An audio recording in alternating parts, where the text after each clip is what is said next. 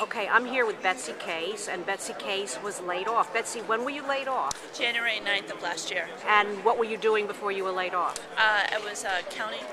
In accounting? Yeah. And did you have health insurance through your employer? Yes. And what happened when you got laid off? Um, everything stopped. You lost your insurance. Yeah. So, like in America, you lose your job, you lose your insurance. Yes. And what do you? And how long has it been since you've been to a doctor? A little over a year. And do you have any medical problems you've delayed taking care of? High blood pressure. You have high blood pressure, and do you have any medication? No. Because you haven't been to a doctor. Yeah, So ran you- out.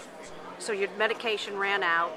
Yeah. And I tried the um, health stores, um, but it doesn't work. And I'm I'm a single mom, so I have to make sure I take care of myself, so I'm around for my son. So.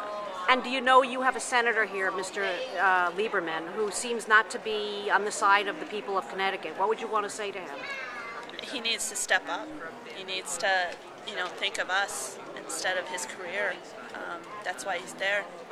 People had trust in him, and he's not following through on anything. And what will happen to someone like you if we don't get health care reform?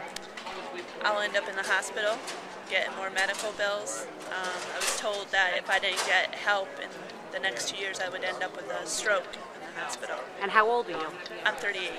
And you were saying before that you need we need health care, not health insurance. That even if you had, tell, tell me about your what you were saying about not being able to afford health insurance. I can't. I went through Husky, um, the Charter Oak program, and they were charging $177 a month. And I can't afford that and try to keep my home. Right now, my home is in foreclosure. So I'm trying to save that. So it's very difficult. You know, you have to choose. And then my son's insurance, so I had to choose him over me. So it's very difficult. It's very, Should health care be a right in the United States? yes. And is it currently a right? No. You have to have money. You have to have a job. Even then, they were taking out $55 a week out of my paycheck, which was a lot. So, what would you like to say to President Obama about passing legislation that will help you? I think you're on the right track, but I think making it a law is um, stupid because you're not keeping in consideration that people are about to lose their homes. Um, nobody's helping out with that. Nobody's.